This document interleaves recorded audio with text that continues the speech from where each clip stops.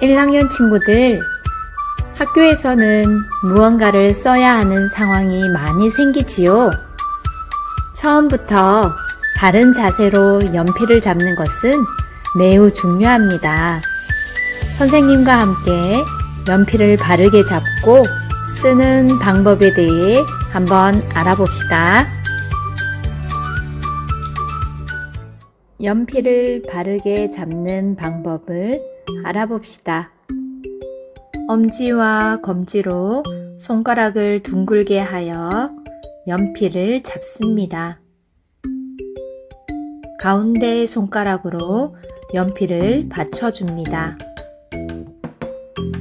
이때 연필을 너무 세우거나 눕히지 않습니다. 이 외에도 연필을 잘못 잡은 모습에는 엄지를 집어 넣거나 엄지를 밖으로 빼거나 너무 짧게 잡지 않습니다. 이번에는 지우개를 바르게 잡는 방법을 알아봅시다. 지우개를 잡을 때는 한 손으로 종이를 고정시켜 누릅니다. 지우개를 잡은 손으로 종이를 가볍게 문질러서 지웁니다.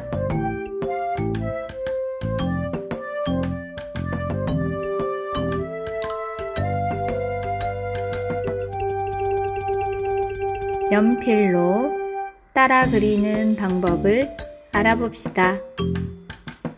한 손으로 책을 받치고 연필을 바르게 잡아 천천히 선을 따라 긋습니다.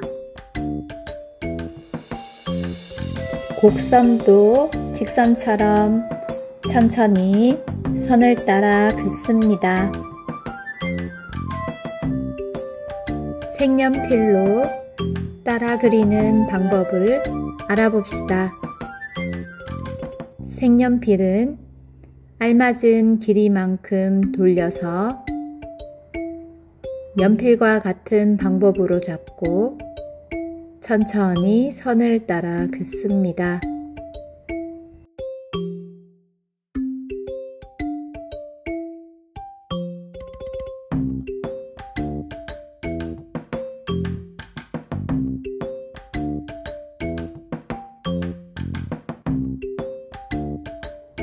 색연필로 색칠하는 방법을 알아봅시다.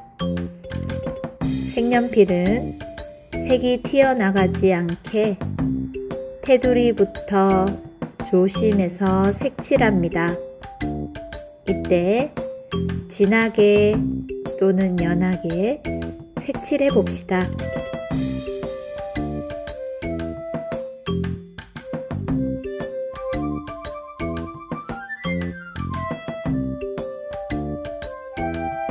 그럼 교과서 46, 47쪽을 활용하여 바른 자세로 선을 따라 그리고 부록 5, 6쪽을 활용하여 멋진 그림을 완성해 봅시다.